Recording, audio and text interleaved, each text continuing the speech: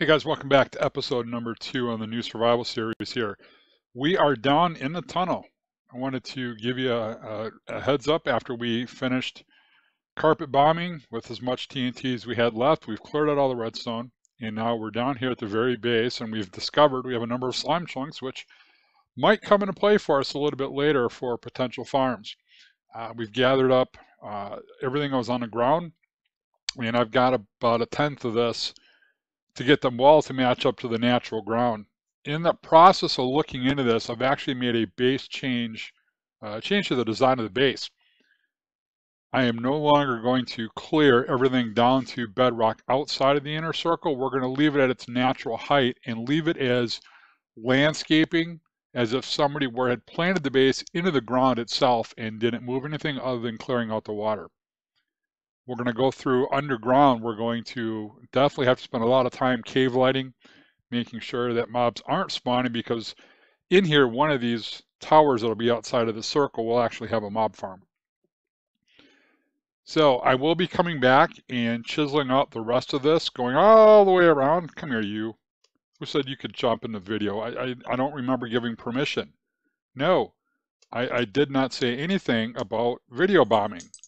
I know you guys like the photo bomb, but video bombing, out of the question. Don't do it again. You see what happens if you do. And come here, you. All right, you guys have fun. I can use some more of you anyways. Might go talk to your friend over there. Uh, today's episode, though, what? What? What do you have to say? Tell me. Now. I want to know. Ah, all right. So today's episode, though, we're going to come back to this and we're going to eventually set up the Guardian farm, but we need to get an ink farm going, and I still need a ton of sand because we still have to make a lot of black concrete. We won't be using nearly as much as I initially planned. Uh-oh, one of their friends is coming over. Uh, we're not going to use as much black concrete as I initially was looking to do. But we're going to still be using a lot of black glass and enough black concrete to where the seven stacks of ink sacks I have from manually hunting them is not going to be enough. You want to come join your friends? Thought so. You stay over there. I guess maybe we'll stay right in the middle. Seems to be a safe place. So we've gotten some prep work done on the ink farm. We're going to head out to that. I'll be right back. All right, guys. So we are here in the ink farm area out in the desert.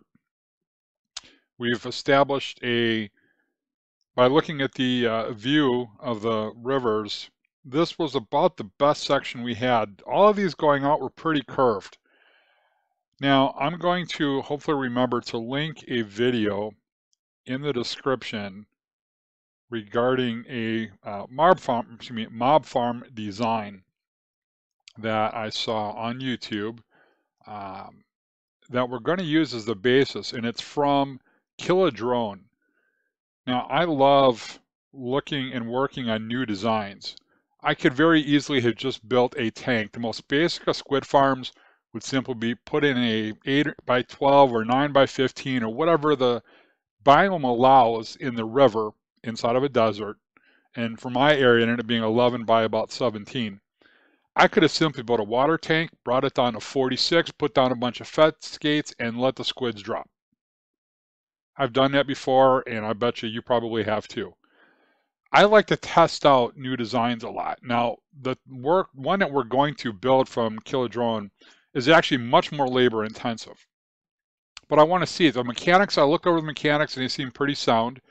It's going to involve setting up a bunch of two by two water chambers over fence gates to minimize the spawning of salmon and cod and any other fish that would spawn. Now, I know we, it, he believes in one catch salmon and cod. I can't swear about puffer fish or any tropical fish, any other stuff. Uh, and I did not look up the spawn area for dolphins, but I believe dolphins are bigger than two. Uh, if so, I'm not expecting too many to spawn. And honestly, I can't swear. Uh, I didn't check the wiki to see if they spawn in river biomes or not. So I'm going to focus more on the mechanics of a squid farm. So let's talk real quick before we get to work on squid farm mechanics. At a minimum, you have to be in either a ocean or certain variants of the ocean biomes or rivers. The only places I believe now that squids will spawn. They also only spawn, oh, it's be turning night soon. Ooh, I'm afraid of the dark. Um, they also only spawn between y equals 62 down to y equals 46, which means after we've cleared the water, we have to dig down. We also need to dig down lower than that for a collection system. So we're going to set up four layers high and four sections wide of these two by two areas just to test out this farm to see if this farm works. I don't know if I ever want to do this again because I had to craft roughly 950 fence gates that we're going to have to place and open and place a lot of water very creatively. Um, so it is much more work than simply building a tank, but that's all I want here are squids. I want to minimize the other water mob spawn rates so it focuses solely on squid. So while this is running, I can be mining sand to take back to my base that I'm going to need for one, for water clearing, creating sections in the ground, two, for making concrete, and three, I'm still going to need a lot of glass. And I've made about three, three and a half double chests worth of glass so far, and I think I'm just about there. But I definitely know I'm going to need a lot more sand. So what we need to do first, in order to maximize spawn rates, is we need to clear water 128 blocks in a I'm just going to call it a radius, from the center of the squid farm. As I'm wandering out collecting sand and this is no longer the center, spawn rates could decrease if water becomes within 128 blocks of me. So we're actually going out approximately 140 to 150 blocks on a radius to minimize that chance. So going, uh, I don't want to talk to him, going out that way I've cleared back in a diameter about 155 blocks.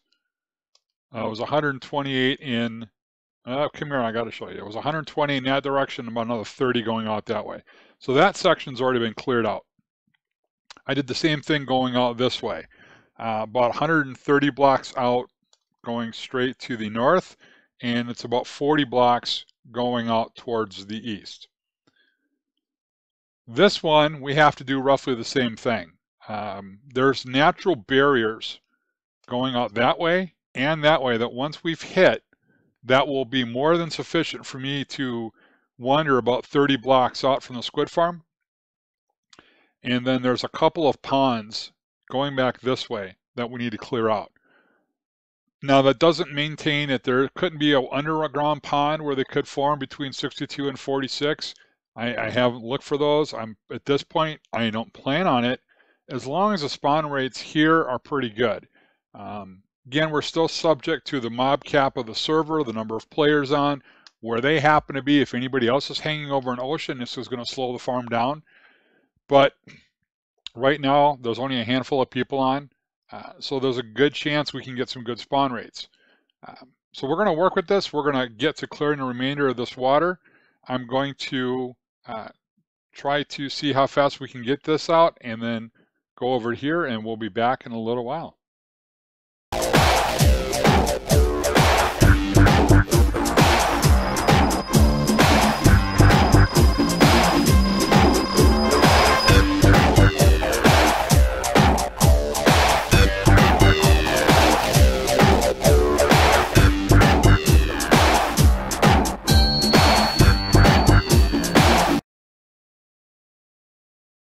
All right, so we I wanted to do a couple different methods of clearing the water here in this little section just to show you uh, the different ways you can do this. One, especially when the rivers are deep, you really need to be pretty methodical in your water removal. Uh, a sponge can only clear you know so much water and if you start clearing from the bottom down when you've got a very deep river you're, you're never going to clear it you're going to fight a losing battle so to start with, I'd actually, before the video started, I'd actually gone through and cleared out the first whole layer of water. Then went back through and did a second layer to bring it down. And then I went through and just kind of haphazardly did this to show you that unless you have, I got a couple that don't even hit water there. Unless you have an insanely large amount of sponges, as said, I got lucky coming out of my temple. I got uh, four sponge rooms out of it and got quite a few sponges. Um, unless you actually plan it out and you start going haphazard, you saw what happened there. realistically, I normally would have probably taken one more layer off before going through and try to do the final clearance as I did. But I wanted to show that. So I'm going to continue to remove these remaining sponges.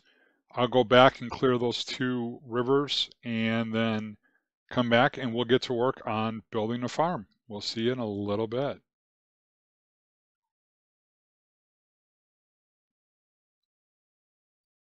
All right, guys, so now we've cleared out all the water in a roughly 160 block radius from here. Uh, walking forward, left, right, took about nine hours of actual clearing all the water over and over with sponges and drying them out and continuing to go down. We are going to mine down all the way to level 30. And, and here's how we're going to set this farm up. Squids have 10 health points, which means in order to kill them, they have to fall 14 blocks. We're going to have them fall into a half slab as well to really give them that extra 14 and a half. So the first layer of fence gates is going to be down here at y equals 45. Squids start at 46, and to maximize the spacing of this farm, the fence gates have to go on 45. 46 and 47 will be water, 48 and 49 would be an air gap. 50 would be another layer of fence gates. 51 and 2 will be for water, 53 and 4 air fence gate and 55. 56 and 7 will be water, 58 and 59 would be an air gap, 60 would be a fence gate, 61 and 2 would be water. So it's going to give us a number of layers of spawn spaces for squids. And again, the goal here is to try to get just squids. I don't want all the other fish or anything else that could spawn in the water. I simply want just squids on this farm by doing that and eliminating the potential for anything else to spawn, it should increase the spawn rates of squids. So we are going to chop down all this down to y equals 30. And actually, I think we're going to go down just a little bit lower because we also have to put up a collection system. If the squids fall from 45, they need 14 blocks to fall. They have 10 health points. So hitting level 30 would kill them. We're actually going to put a half slab right above that. So 31 would have a half slab. So 45 is air. That's 14 and a half when they hit. That should kill them. And then directly underneath the half slab on 30 would be the minecart. And then we're going to have to build a side section just for collection. Given we'll see the initial spawn rates. I think one hopper minecart will probably be enough versus sending a bunch of them back and forth and back and forth. I believe we'll be okay with just one because they also have to be out of the air for a while. Uh, and this farm's 11 by 17. So it doesn't take that long to traverse 187 blocks and pick up squids. I don't see us picking up five stacks of squids every 187 blocks. If the spawn rates by some reason were that crazy, then we'd redesign a collection system. So I'm going to clear, I'm actually going to go down to 29 just to play it safe. Uh, underneath these posts, all the way down in y equals 20m, we'll get them cleared out, and then we'll be right back. All right, guys, so as you can see, we've managed to clear from way up top down to our pit down here at y equals 28. One of the things we've got to start preparing is the rail system is going to pick up all the drops. We've got the basics started here in a corner, and we're going to run powered rails all the way through. The nice thing about this bill, the way we laid it out, is that it's 17 blocks long, which means that we only need to place one block of redstone in the middle as a power source for the rails.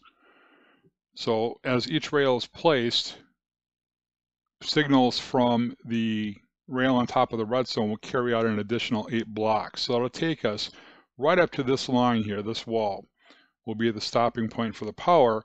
And then we're going to have two traditional rails going underneath the wall to turn around. It's because when the rail hits this spot that I'm standing on, if I were to do the turnaround right here, a lot of the times the drops won't get picked up. So by going underneath the ledge, we'll put the two blocks uh, with rails on top right there in order to get the minecart past the pickup spot because there's going to be half slabs placed all over this. So back in the corner is where we have our collection system. As the minecart hits that hopper, items will start to go into it and turn off the signal that we've got hidden behind the wall. That will depower the rail and allow the items to come out of the hopper. When the hopper is empty and there's no more items, the signal will reverse, refire up the minecart, and go back to collecting drops. And so we're just going to continue this pattern all the way through. Um, just to, oh, you always got to remember sometimes that uh, the rails have to be laid a certain way at a certain time, otherwise you miss a little bit. There we go. All right, so we'll finish this off to help us get all set up so that we can launch the minecart and get the collection systems going here. And I'm hoping, I'm hoping I brought enough rails with me. I'm not 100% sure. I think I'm short by a few. Uh, when I, whoops, when I did the math, I thought uh, I had enough. But then uh, going through, it looks like I'm just a hair bit short. But anyways,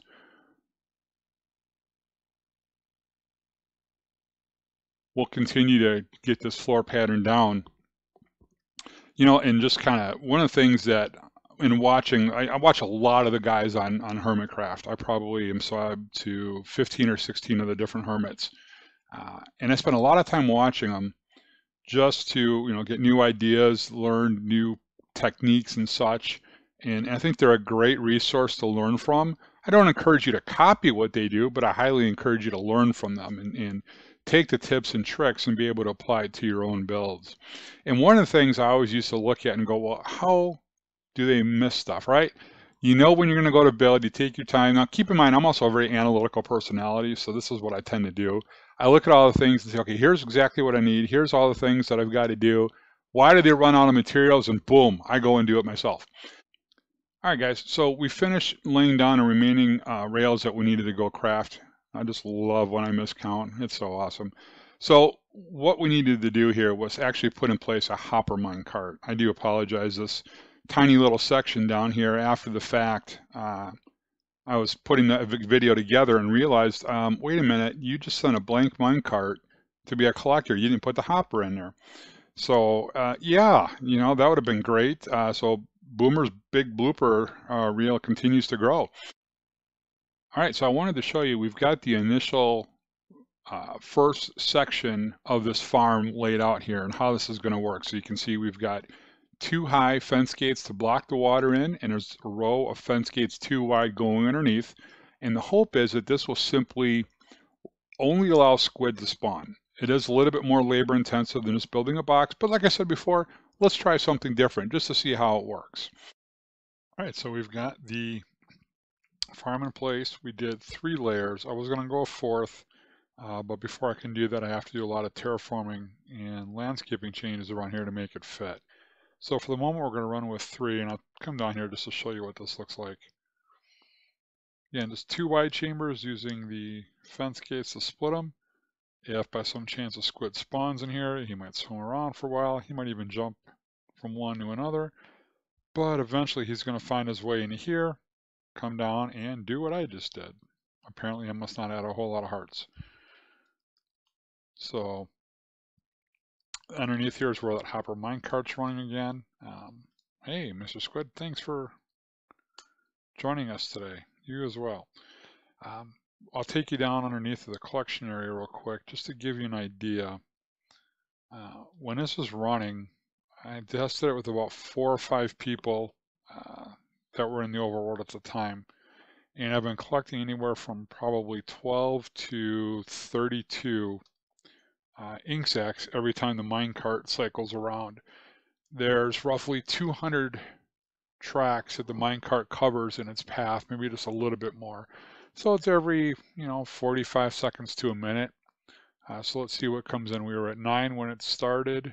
And again, we just got down here, so I'm not expecting a whole lot. But if I come back in here to where I'm essentially 24 blocks away from the farm, and as it cycles through, I think the average has been around 16. Um, considering, you know, it's not too bad only three layers in a farm. Again, it's minimal spawn space. This is trying to keep the other uh, water mobs from spawning within this farm. If I had just done a big tank, I'd probably see a little bit more squid because there'd be more valid spawn points. So again, you know, I, I know that the tank is probably the easiest. It definitely is easier to build than this was. But I wanted to try something different and new. And again, I'll put a link to the uh, tutorial for that person's channel uh, in the description. So what do we get here? 16 to... So we got 17 on that run from the minecart. Again, it's not too bad. And I'm going to be in this area mining a lot of sand anyway, so this will continue to run as long as I stay 24 blocks away from the water. So, uh, and we simply just have that going up. Uh, this I should probably take out because I don't need it, but this is just the basic minecart hits here. Underneath this block is a comparator to detect anything in that hopper. As soon as it hits it, it comes over here, hits this uh, block, turns the torch off, removes that signal, causes the minecart to stay until it drops. Uh, I forget who the creator of this was, if this was Etho or Impulse or someone else. Uh, but it's a it's a long known redstone circuit. It's been in the game for some time. So oh, we're getting another drop. Let's see what do we get. We're a little bit close to the farm, so I'm not expecting as much. So we got about 15, not too bad. Uh, but that's pretty much it. So down here, if I hang back here for a while, I'm essentially 24 blocks uh, taxi cab distance, essentially a straight distance away from that spot. But uh, we're going to wrap it up right here, guys. Um, ooh, man, I need a shave.